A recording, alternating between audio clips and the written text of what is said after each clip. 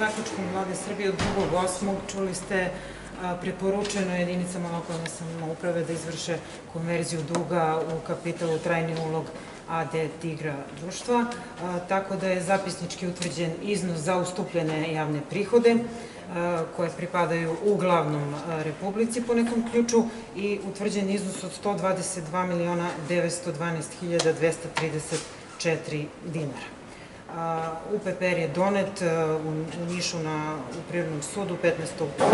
prihvaćen je i ono što treba da donese jeste svakako rasterećenje dugovanja i dalju racionalizaciju i uspešnije poslovanje Tigar AD-a. Znači, grad ovom odlukom daje saglasnost i podršku Tigru za dalje poslovanje.